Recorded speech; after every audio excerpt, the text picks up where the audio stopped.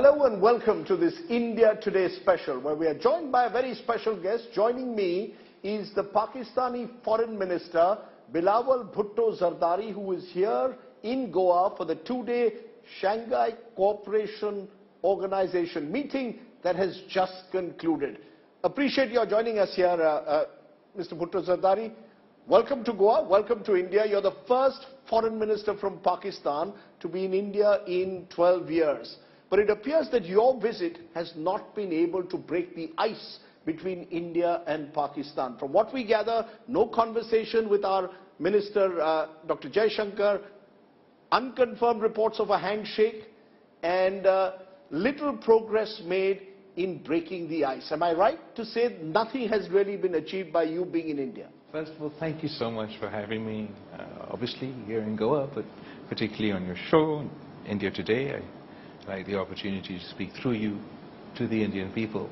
Uh, as far as the success of my visit, well, the aim of my visit was to attend uh, the SCO, of which Pakistan is a member. Uh, and to that end, my visit has been successful. As far as Pakistan's position on bilateral relations with India uh, or any meaningful engagement or dialogue with our Indian counterparts, our position remains unchanged. And that is that until uh, India reviews the actions it took on August 5th, 2019, uh, Pakistan is not in a position to engage bilaterally with India. that's your unchanged position. Our position is equally firm. Terror and talks don't go together. And until Pakistan is seen to actively do enough to stop cross-border terrorism, to sponsor terror outfits like the Jaish and Lashkar, we can't talk with Pakistan. So it seems, therefore, that the two countries are in, as I said, a deep freeze. How do you respond to India's position? You cannot have terror and talks coexist. So as far as India's position is concerned, terrorism isn't anything new. It's an old challenge, and despite having to face this challenge, we have had on and off talks. So as far as being a consistent position, I don't quite know how consistent it is. Uh, as far as the issue of terrorism, Pakistan wants to deal with terrorism not because India says so or the Indian government said so, but because we want to uh, end this menace. It has caused the largest number of uh, casualties uh, amongst any of the SCO nations present here today. Pakistan has suffered the most casualties. I myself stand here before you today, a victim of terrorism. So Pakistan and myself are wholly committed to combating this menace. As far as uh, accusations are concerned, um, we are ready and willing to engage and address any concerns that India might have, but India will also have to address our concerns. India would have to explain what uh, Kulbhushan Yadav, not a non-state actor, a state actor, a Navy commander, was doing in Pakistan, mm -hmm. carrying out terrorist attacks on Pakistan soil. Does that not come under cross-border terrorism? Can I just stop you, Mr. Foreign Minister? If you allow me to complete, yes. and then yeah, of sure. course you that's one such mm -hmm. complaint. Then of course we all know the incident of Samjhauta Express, uh, where we are yet to see uh, justice. Uh, the Lahore incident, terror attack that I presented mm -hmm. the mm-hmm. dossier before the United Nations. Um, all those questions need to be answered. You know, I can go on and give you a long list I of, of Pakistani involvement in terror attacks that dates back to the Mumbai blasts of 1993 through what happened in our parliament, through Pathankot, through Pulwama, through Uri, even to Poonch three weeks ago. The fact is, the evidence that, your, that Pakistan provides, whether it's about a Kulbhushan Jadhav, whether it's about Lahore uh, uh, uh, the terror attack, has not been backed by international agencies. In the case of Pakistan, we've seen Mr. Uh, Bhutto I just think it's so the fact is, no, the fact is that such this, a senior no, let's be very clear, and uh, very clear that this is backed by credible evidence. Would you allow me to respond, or would you continue? No, I'm, I'm, you know, these are credible evidence. I was Am I in doubting- am where I- you live. am- and Dawood Ibrahim, am responsible for the attacks of 93, still continues to So- live there. Hafiz Saeed, no action, credible action taken for 2611. Uh, Masood Azhar for Parliament, for, uh, for Pulwama. So, you know, we can, we can give you a long list But of the evidence. point is, while you claim to have a long list, you refuse to accept that Pakistan has any legitimate concerns. For example, you were saying that the fact that we've caught Kulbhushan Yadav, we can show him to you, the fact that he was a Navy commander in the Indian Army is not uh, a legitimate accusation? Then who uh, is India to defend in Pakistani courts? Uh, who is this man, Kulbhushan Yadav? Who is Ajmal Kasab? No, no, but sir, sir, sir, the you act see, I am not, I'm not, I'm not denying there's a Mumbai trial ongoing within Pakistan. The reason that trial has not progressed Mm-hmm. is because India is refusing to produce the witnesses necessary for us to take that case forward. If you compare that with the Samjhota Express attack, over there everyone was acquitted. We've sent But you we've seen- voluminous evidence of 2611, Mr. Foreign Sir, Minister. I'm not surely, doubting that you've surely, sent, you know, you I'm don't not want to- doubting that you've sent If evidence. you want to live in denial, this is the problem. This is not denial, this is the problem. The problem is I'm being very clear with you. I'm Mm-hmm. speaking with facts and I'm speaking rationally and unemotionally. But you are getting quite hyper. And I would like to suggest that if I are lost to friends, sir, in 2611. With due regards, perhaps, Sir, just as you, you said you- in I'm not in your speech, that your mother died in an assassination, atta- uh, in an assassination So by a surely, if you suffered. lost friends at the Mumbai attack, you too would like to see the conclusion of the Mumbai trial. Yes. So perhaps you will take it up with the government in India that in order to conclude the Mumbai trial, India should consider sending the witnesses necessary in a court of law. We have a very similar legal system in India and Pakistan. We you in- voluminous evidence, Sir, you can provide as many pieces of paper as you will like, but as your legal system works, Mm-hmm. so does mine. And in your legal system, Mm-hmm. along with those pieces of paper, you have to provide witnesses in order for a case to go forward. So until we have that sort of cooperation from the Indian side, this case cannot conclude. Now that I have shared with you Mm-hmm. my position on the Mumbai case that is sub judice and ongoing, Mm-hmm. could you perhaps enlighten me that on the Samjhota attack that took place in 2007, where Pakistanis lost their lives, mm-hmm. why it is that India has been unable to hold anybody accountable for that terrorist incident mm-hmm. on Indian soil that resulted in Pakistani lives lost? Sir, the fact is, India has prosecuted all its terror cases under the rule of law. We even gave Ajmal so Kasab, who was caught in a terror attack, the due process of law. But, but let me come to your response. Today, you, at, at the SCO, you said, let's collectively eradicate the menace of terrorism. Let's not get caught up in weaponizing terrorism for diplomatic point scoring. With due regard, sir, when you say that, isn't it the responsibility of Pakistan, which globally has found itself in the corner for having sponsored terror to first stop allowing its soil to be used for terror activities against India. Somewhere you've got to start. Otherwise, your, your words will sound hollow with all due regard, Mr. Minister. But it, uh, sir, the, our words or our track record speaks for itself. We are the only country on the planet that has not completed one, but two financial action task force objectives, one on counter uh, t- uh, terror financing and one on money laundering. As far as the issue of terrorism is concerned, the numbers speak for themselves. You can take out the data between uh, uh, sort of 2006 up until 2014, Pakistan was in a very difficult situation vis-a-vis the activities of terrorists. We were facing uh, terrorist attacks almost every other week, but precisely because the whole of the Pakistani state, across the political spectrum, sat together, uh, came, with the, uh, came up with the necessary consensus that resulted in oper- uh, operations in South Waziristan and in North Waziristan and a national action plan, we managed to break the back of these terrorists. And unfortunately, you're caught mm-hmm. in an old, stale perception about where Pakistan is on this issue. And I believe it would be more constructive if we engage on these topics, because I am saying this is a genuine issue for me. Mm-hmm. I understand that it is a genuine issue for India. I'm not denying the legitimacy of this concern. I'm just suggesting the way that you're engaging in trying to resolve this concern is not necessarily the most productive. You're saying have an open dialogue. You will express your concerns. We will express your concerns because today you argued that you, in, in your speech, that you felt the pain of terror because you lost your mother to an assassination by a terrorist. You then went on to say we must stop conflating non-state actors with state actors. But for that, sir, the state must act, Mr. Uh, uh, uh, Bhutto Zardari, with in a non-partisan fashion against all terror. You can't sponsor terror directed against India and then fight terror within Pakistan or across Sir, the Durand with Afghanistan. Do you agree that you know one man's suggesting terrorist cannot be another man's freedom Absolutely, fighter? and that's our position. That's what I want you to do. I want you to break this fiction that has been fed to you, that we have a different perspective on this issue.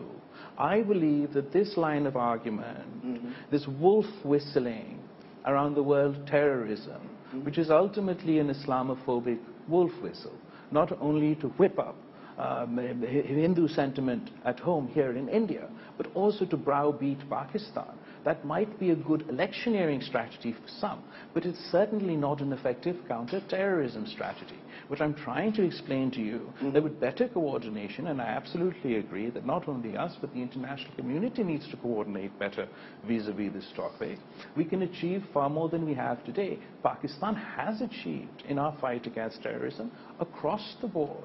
We don't, this doesn't serve our purpose, neither does it serve your purpose. Why do, the why do groups like the Jaish and uh, Lashkar continue to operate from terror camps within Pakistan? Show the world credible action. I mentioned Dawood Ibrahim, sir, because the fact is he lives in Clifton, which is where you live, and the fact is he's lived there since 1993 when the Mumbai blast took place. Act against him, hand him over to India, and maybe that will be the kind of gesture that breaks this frozen peace.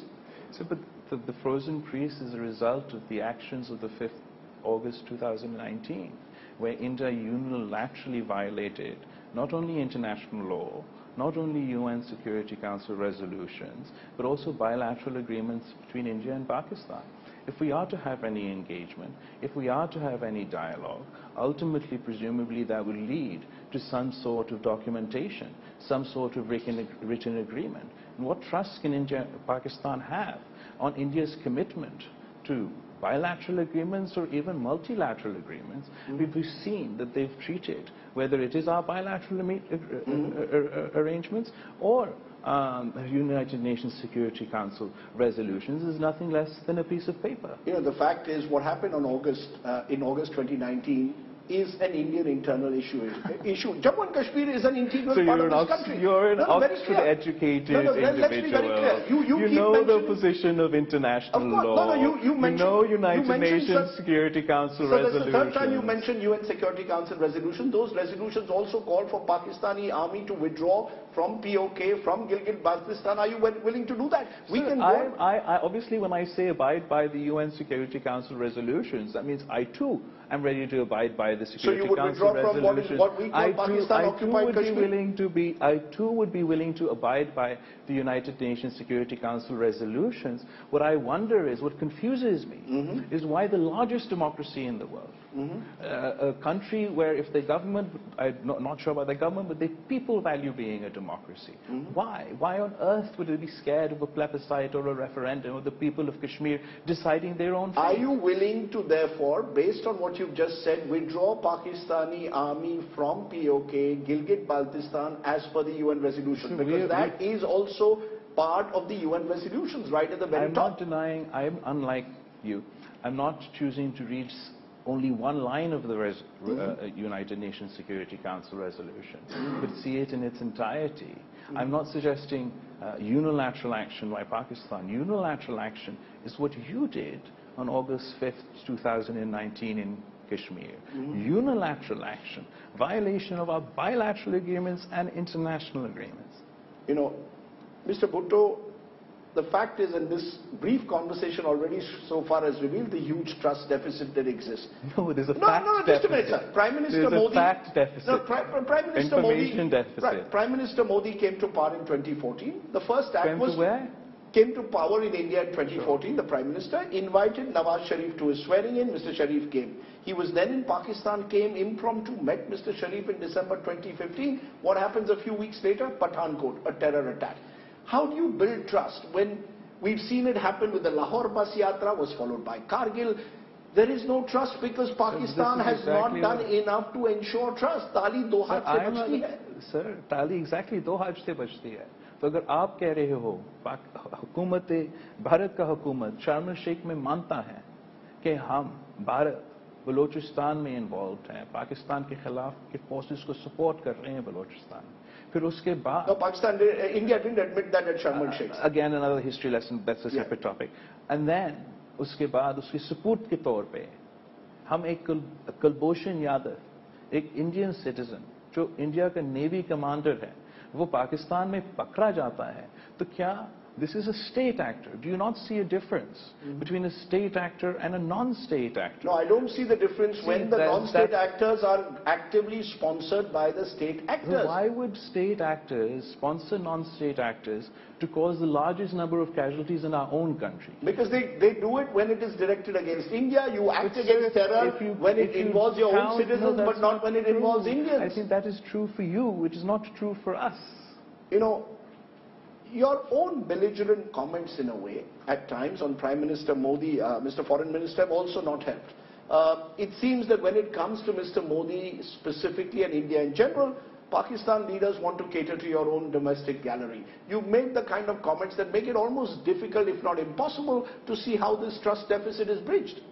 So first of all, I think if you assess the domestic politics of both countries, it is in India where uh, Pakistan plays a larger role in your elections, whereas India does not actually feature in our elections. As far as politicking is concerned, we see it from the Pakistani perspective that every time there is an election in India, be it regional elections or national elections, there is a, uh, th- there is a so-called terrorist attack that is exploited for electoral gains. We have no problem with any individual, and our words never intended to cause any effect. Those words were not my words. They were your words. No, you sir, I was yes, but I, who was I quoting? I was quoting uh, the Indian citizens. Anyway, I don't want to rehash a conversation that has already happened or quote a BBC documentary. Uh, the, we, can, we can have issue with the, the choice of words uh, that anybody uses, but everybody knows that neither politics is personal nor diplomacy is personal. The question before the people of India or the government of India is, do you want to create an environment that is conducive to talks? Do you want to implement your own stated foreign policy agenda, which is neighbors first?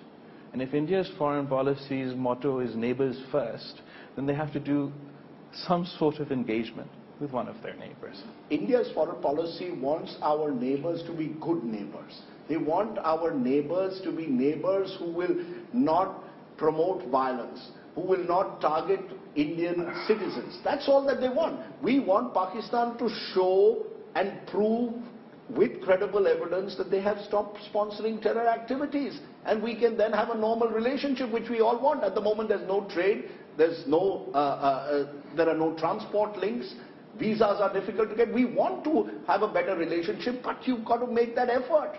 You've got to do more. So the world really- wants you to do more. We're working uh, for ourselves, not for you, to deal with this issue. Uh, and it is an issue of serious concern. If we're going to turn terrorism into a political point, whether it is for domestic politics or geopolitics, then we will not be able to resolve this issue. And uh, frankly, at the moment, this issue has become far more complicated since the fall of Kabul the manner in which various terrorist organizations that are a threat to me, that are a threat to you, that are a threat to many other countries, are able to coordinate and conduct themselves today uh, was not the case a year ago. At the moment, the fallout of that is being uh, borne uh, by Afghanistan and Pakistan. As I said in my speech today, we may, may, may be the first to be affected uh, but we wa- will most certainly won't be the last. And despite everybody's emotions, despite uh, what may have happened in the past, what I'm uh, suggesting is we must work together, Foreign Minister. We'll see that in the general election, Mr. Foreign Minister, but I must ask you in conclusion, did you have a handshake with Dr. Jaishankar or not? In all our unofficial engagements, we always shake hands when we meet. So you shook hands. Of course. And we had uh, a dinner conversation amongst a whole host of other foreign ministers, as one does at uh, these sorts of events. We didn't hold a bilateral uh, engagement. We'll wait and see where, therefore, that handshake goes in the future.